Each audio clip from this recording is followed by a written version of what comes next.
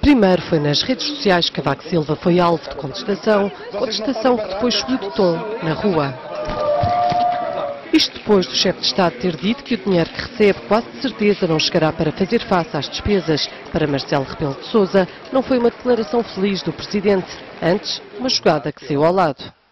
Saiu mal. Quer dizer, o que acontece na vida há muito boa gente, não é? A pessoa quer marcar um penalti para a baliza e sai para a bancada. Quer dizer, ele quis dizer, naquelas coisas que têm intimistas a explicar, olha, eu recebo isto e mais aquilo, ainda preciso da pensão da minha mulher porque para as despesas que tenho no dia a dia não chega. Queria dizer implicitamente, vejam, até eu, privilegiado, coisa que não disse, e achou que estava subentendido, tenho de cortar.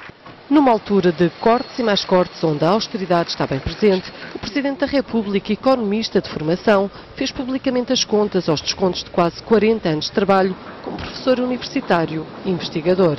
Irei receber 1.300 euros por mês. Eu não sei se ouviu bem.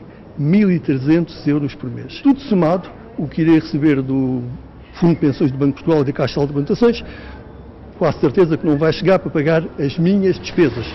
Aos 1.300 euros mensais da Caixa Geral de Apresentações soma-se a reforma do Banco de Portugal, um valor ainda não apurado, mas tendo em conta a declaração de rendimentos 2010, contabiliza 141 mil euros brutos de pensões por ano, um valor que este ano ficará abaixo devido às sobretaxas estipuladas pelo Governo, mas há mais uma parcela nos rendimentos de Cavaco Silva, 2.900 euros para gastos de representação pelo cargo que ocupa. Passos Coelho já veio a público lembrar que os sacrifícios são para todos. Não há ninguém que fique fora desses sacrifícios. E o que eu quero dizer aos portugueses, eh, a começar no Sr. Presidente da República e a acabar em qualquer cidadão em Portugal, é que esses sacrifícios vão valer a pena. Para o rendimento, casal presidencial acresce ainda 800 euros do valor da pensão de Maria Cavaco Silva.